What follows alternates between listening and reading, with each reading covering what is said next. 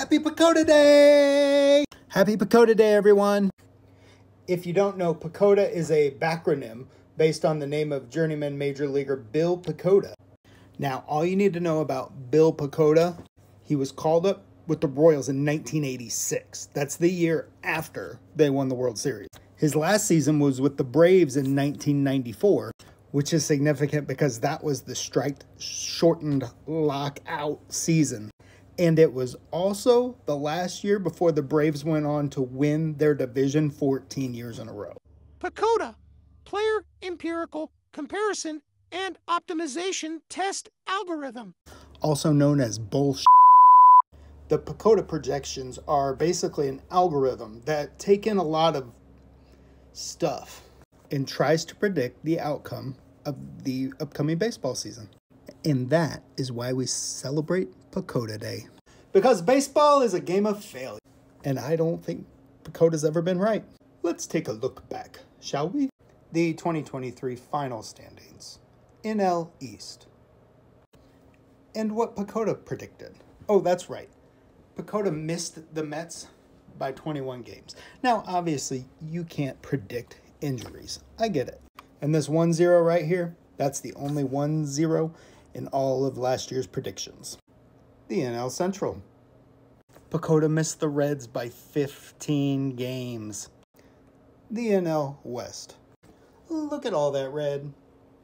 The American League East. Maybe my favorite of all of them. The Orioles were a positive 27 compared to PECOTA, and the Yankees a minus 16. The AL Central.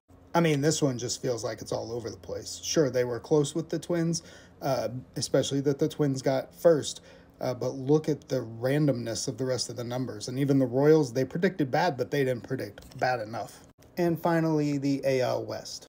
Who you knew that was coming. The Rangers, 12 over, missed by 12. So, what about 2024's PECOTA rankings? Let's see what they said, and let's see if you agree or disagree. These are predicted wins by PECOTA.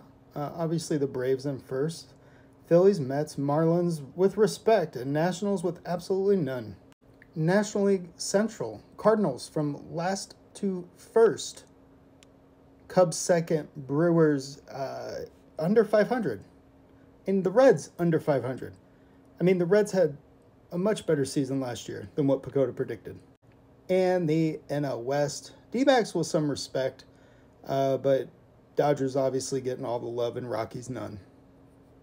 Now, my thoughts out of the National League are PECOTA's got to miss somewhere. And when I say miss, I think from uh, fourth in their division to second or first making the playoffs and making a run.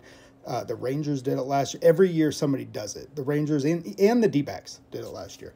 So uh, in the National League, I'm really looking at the Reds. That Central seems up for grabs. Even I want to say the Pirates could do it.